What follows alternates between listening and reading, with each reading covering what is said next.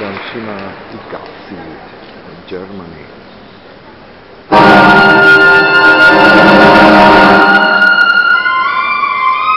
Hmm.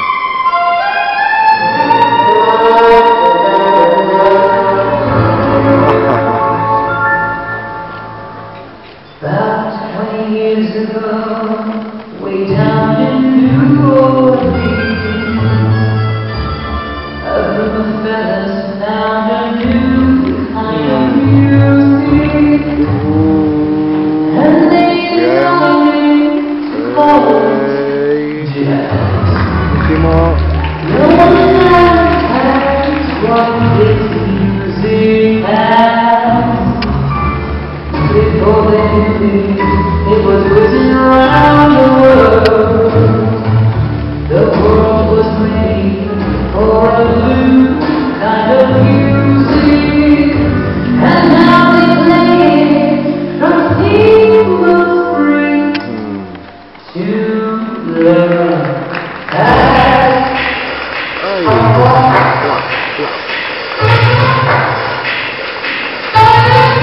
Thank you.